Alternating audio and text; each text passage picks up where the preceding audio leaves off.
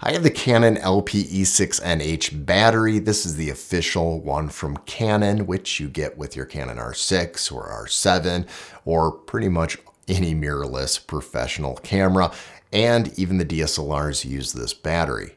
This is a $79 battery. Is it worth $79? Well, Small Rig doesn't think so. So they created this battery, which actually has more power. It's $39, so half the price. And it also offers USB-C charging, which I've never seen before on any battery. This is a game changer. I've been using this for the last few days, and I think this will be the way to go in the future for me.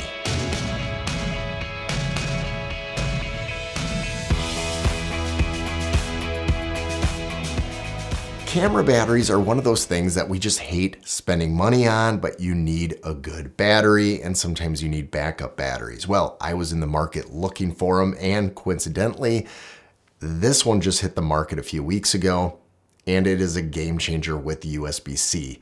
I have never seen this before and I've been testing it out and been absolutely floored.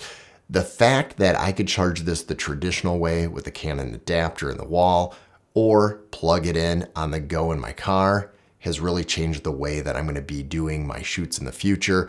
And I'm not going to be stressing so much if I accidentally bring a dead battery because now I can charge it quickly and I can get a full charge in just two and a half hours. So I wanted to test this out on somebody who has never used a Canon camera before or really any camera battery at all. So I gave my seven-year-old son this battery to try it out traditionally to charge it, didn't tell him how to do it. And I gave him this battery and said to do it in a different way because I wanted to make a point that this one is going to be easier to charge for somebody never knowing how to charge this one in the wall. Well, that kind of backfired for me. So, Fritz, you see that battery in your hand? Yes. Uh, go put it in the charger. What charger? Right there, right on the wall. Here? Yeah.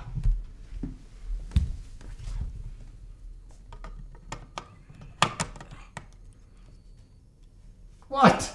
Weren't supposed to get that the first try? How would you charge this one? How would you charge this battery? Could you charge it with that cord?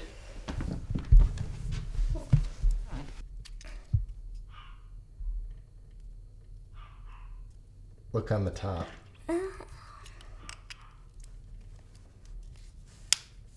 So I'm not sure exactly how he actually just made this work. He's never seen me charge a battery in his entire life. And um, in this one, he has done USB-C for all his other devices, and this just baffled me that he could not see it in the front there. But regardless, this is a lot easier to charge than this for most people, not a seven-year-old.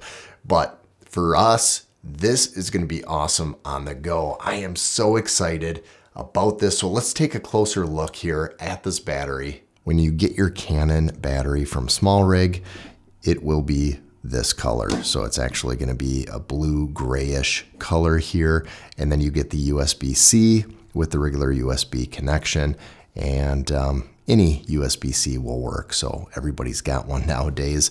And then you've got um, your battery. So I wasn't sure what I thought about the color at first, and then I was thinking, you know what, this stands out. I can find it pretty easily. So if I'm going through my bag and I'm looking at a bunch of batteries, this color is gonna stand out for me and I'll know which one to go for because in most cases, I'm not gonna wanna forget these batteries because of the very reason that the USB-C connection is right there. I have this longer USB-C that's connected to my computer and then I can plug it right into my battery and then there's the red light that turns on. When this is fully charged, it is gonna turn green and then I know that it's good to go. And it only takes about two and a half hours to get fully charged. You can also charge this the traditional way through the Canon adapter. Here is the Canon version, here's the small rig version. They look pretty much identical. The Canon version is rated at 2130 mAh and the small rig is rated at 2400 mAh. So you have more power in this. Plus you have the opportunity to use USB-C whereas in the Canon version, you do not. Uh, this one will stand out. So if you have both of these in here and you're just scrambling to grab the right one, you know which one to get. Now, I do have links below specifically to this small rig battery. I highly recommend it for $39. You really can't go wrong. It's half the price of the Canon version. So I ended up buying two of these because, well, you can never have enough batteries. Last year, I traveled about an hour and 15 minutes north for a shoot. I actually forgot my batteries and only had one that was in the camera that was actually dead. This would have actually saved me a lot of time. I had to have my wife drive up, bring in one of my spare batteries, and then I was able to shoot. But if I had one of these, I would just plug in the USB-C in my car and do a quick charge and be on my way.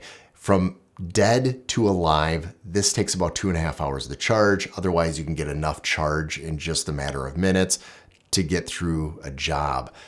This is a game changer. The fact that you have a battery that can be connected directly USB-C you get a nice little LED red light showing that, hey, it's not fully charged yet. Then it turns on green, knowing that that is fully charged is awesome. I mean, does that almost eliminate ever having one of those chargers in the wall. It's gonna be so easy to plug this in anywhere. It's just a game changer altogether. For $39, you really can't go wrong with these batteries. It's half the price of the Canon official battery and it's got more power to it plus the USB-C for charging. It's just a more versatile battery. Plus, I actually like this color because it stands out in my bag when I'm going through all my batteries. I have links below where you can purchase this battery. Also, to let you know, B&H is still having that sale go on with the Canon 50 millimeter 1.8.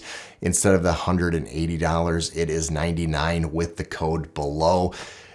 It's a good deal. If you don't have a 50 millimeter 1.8, check out that link. $99 for an RF lens. You can't go wrong. But again, this battery is huge, a game changer. You should have at least one, if not two. I have two. I'll probably end up buying more.